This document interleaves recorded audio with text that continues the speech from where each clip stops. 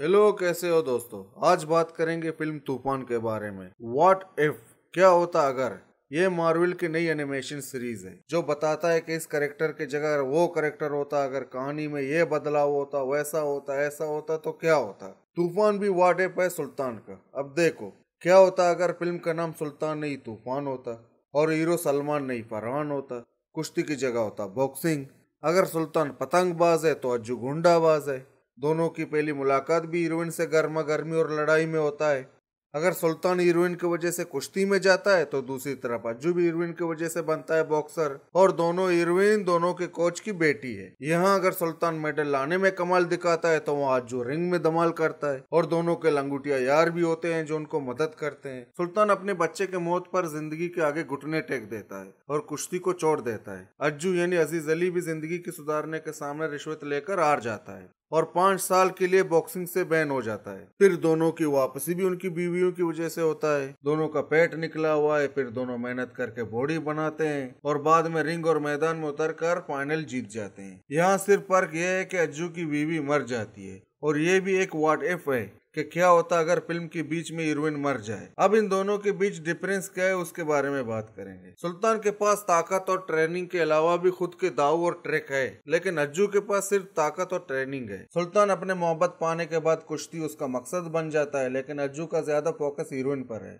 सुल्तान जब वापसी करता है, उसका मेहनत दिखाते हैं कि कैसे वो मोटापे से फिट होता है, और यहाँ अज्जू को नहीं दिखाते कि कैसे वो फिट हो गया। सिर्फ़ फिट होने के बाद उसका एक्सरसाइज में दिखाते हैं। और आखिरी पर क्या है कि सुल्तान में थोड़ी मसाला ज़्यादा है और तूफ़ान को रियलिस्टिक के करीब रखने की कोशिश की गई है। और ऐसा लगता है कि सुल्तान को आगे रखकर पूरी स्क्रिप्ट लिखी गई है। तूफ़ान एक बढ़िया फ़िल्म होता, अगर सुल्तान फ़िल्म ना होता तो। और एक ज़रूरी बात, हीरो कितना भी बुराइयों और बर्बादियों में गिर जाए, लेकिन वो अपने उसूल और अपने मकसद छोड़ता नहीं और उसे किसी भी कीमत में नहीं बेचता। इसीलिए तो वो हीरो है, लेकिन अज्जू रिश्वत लेता है हारने के लिए बॉक्सिंग में। जिस सब्जेक्ट पे पूरी फ़िल्म है। अब आते हैं परान अख्तर पर। इस फ़िल्म में परान ने बहुत ज़बरदस्त एक्टिंग की है। सिर्फ़ एक जगह है कि हीरोइन के साथ रोमांटिक बात करने की कोशिश करता है। आओ देखते हैं कैसे। Ajju my love I love you माँ कसम आई लव यू टू तो बोलो ना कितना प्यार करते हो तुम मुझसे अरे बाप का दादा का भाई का बेटा का बेटी का सबका प्यार मिलाकर उतना प्यार करेगा अपन तेरे से। हाँ तुम्हारा बेटा बेटी है क्या? अरे नहीं डार्लिंग तुम्हारे साथ शादी करने के बाद बच्चे होंगे ना हमारे।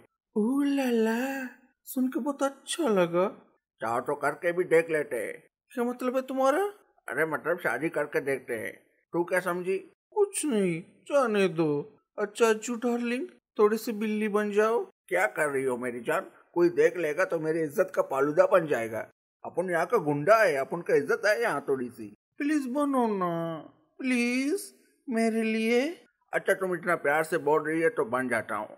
मियाओ मियाओ मियाओ मियाओ अरे भाईजान, आप ऐसे सीन चॉकलेट हीरोओं के लिए छोड़ दो। ऐसे सीन आपको सूट नहीं करते, सच में। और मेरे ख्याल में दोस्त आप हीरोगिरी में इस डेंजरस कैटेगरी में आते हो। इनके जैसे फ़िल्में बनानी चाहिए आपको। और प्लीज़ यार, अब इनकी फ़िल्मों का वाटेप मत बनाओ। ओरिजिनल फ़िल्में बनाओ। और अगर आप चाहो तो हम बात आगे भी बढ़ा सकते हैं। तो दोस्तों, आज के लिए वीडियो पर यही पर ख़त्म करते हैं। तो फिर मिलते हैं अगले वीडियो में। तो फिर अपना ख्याल रखना। Good bye.